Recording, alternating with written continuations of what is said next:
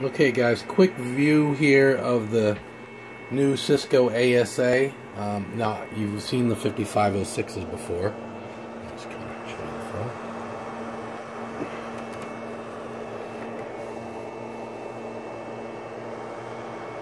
Alright.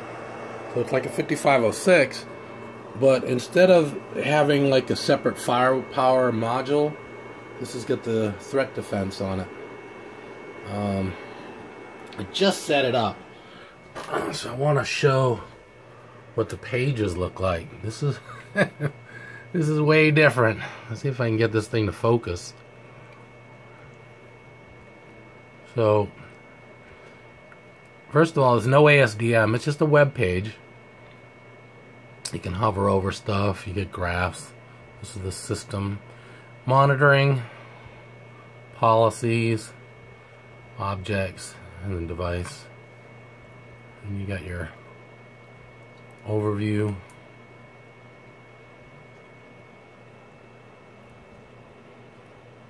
Policies, users, applications, signatures, web categories, top desktop. Now I haven't activated any any you know pay stuff, no intrusion detection or anything. This is just haven't even set any policies or anything. It's just just showing you the screens here.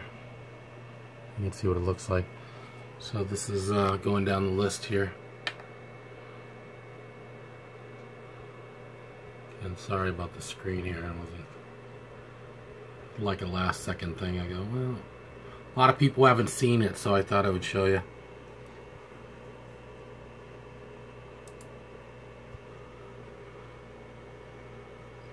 So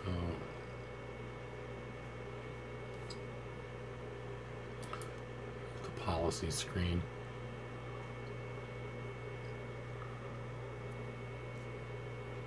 Now when you use stuff, it actually downloads it. See this little download thing here. So I guess if you don't use something, it doesn't it doesn't load it into memory and stuff.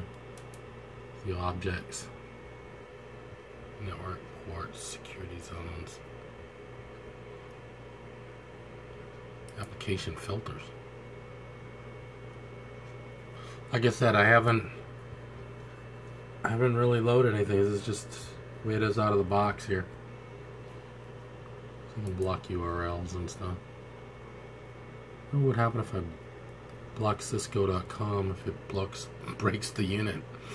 Anyway, geolocations. I just added the United States in there. I don't know if there's really a need for this to add these in here. Thought it does them by default, but you can add a location Just start typing again. So let's type in, uh, I don't know, Canada. Canada, eh?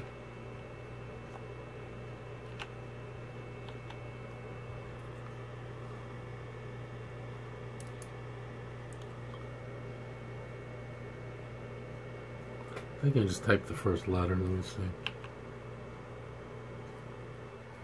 I guess not. So I'll have to click North America.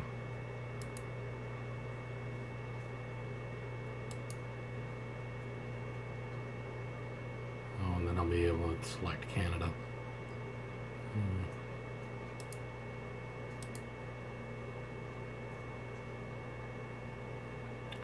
I think it's all checked because I, I clicked on that. Let me try that again. Let's see here and click on there. Well, when I was, I went to a class on something, but it was way different, way, way, way different. And uh, I'll tell you what, these are these buttons work a lot better than it used to.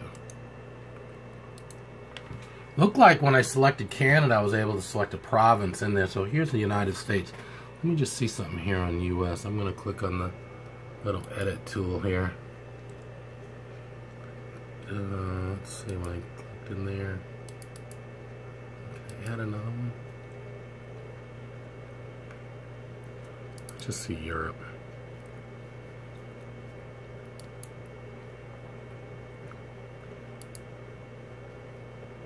Oh no, I guess, okay.